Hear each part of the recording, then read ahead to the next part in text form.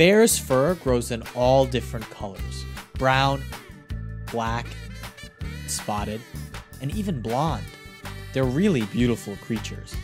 But if you see a bear in the wild, enjoy them from far away. Bears are scared of us, so sometimes they can be dangerous to humans. That's why we hug our stuffed animal bears instead. Bears may be big and fuzzy and different all over the world, but they're also in danger. All around the world, they're losing their habitats where they live.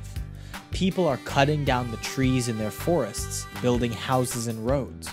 Even polar bears, which live in the North Pole, they need ice to live. And as the Earth gets warmer, the ice is melting. Bears are in trouble, so we need to protect them. We love bears. What is your favorite thing that bears can do?